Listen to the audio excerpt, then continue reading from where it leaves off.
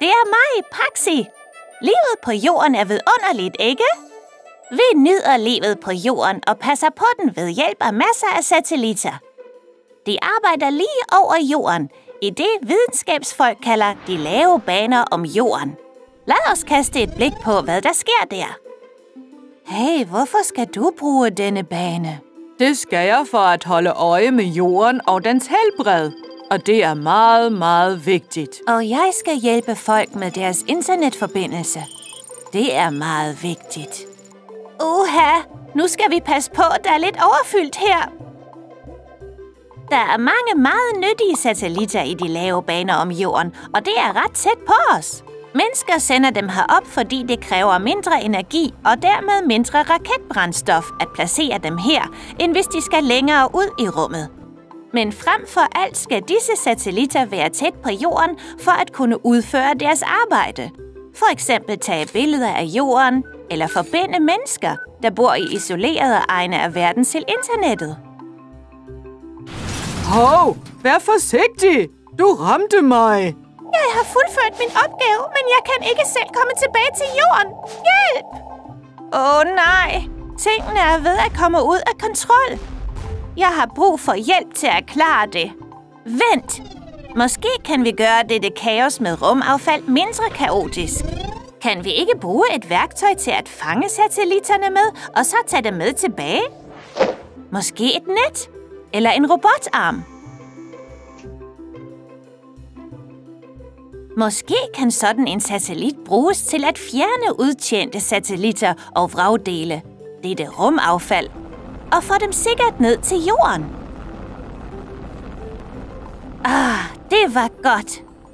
Mange af satellitterne i rummet kan ikke komme ud af deres baner og tilbage til jorden, når deres opgaver er slut, uden hjælp fra andre satellitter. Kan du komme på værktøjer, der kunne hjælpe satellitter med selv at komme ud af deres baner?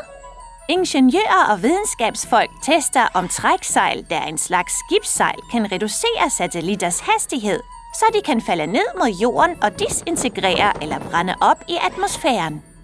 På den måde giver de plads til andre satellitter, uden at forvolde skade nede på jorden. Men det duer kun ved små satellitter. Hvad gør vi med de store? Store satellitter har brug for mere hjælp. De kunne have ekstra brændstof i tankene, nok til at få dem tilbage til jorden. Eller endda have ekstra motorer, som går i gang, når deres mission er slut, og tvinger dem mod havet.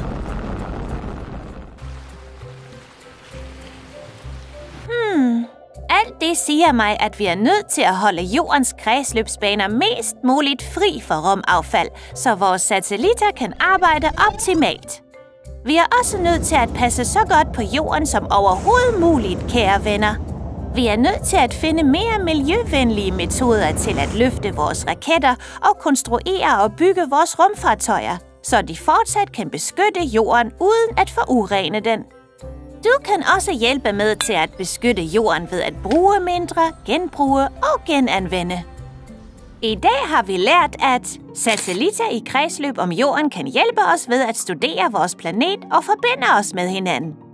Der er mange gamle satellitter og vragdele, såkaldt rumaffald i kredsløb om jorden, og de kan gøre skade på aktive rumfartøjer.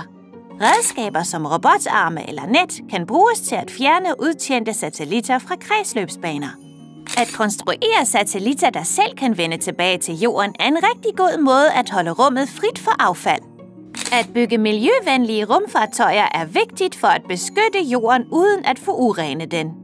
Du kan også hjælpe med til at beskytte jorden ved at bruge mindre, genbruge og genanvende.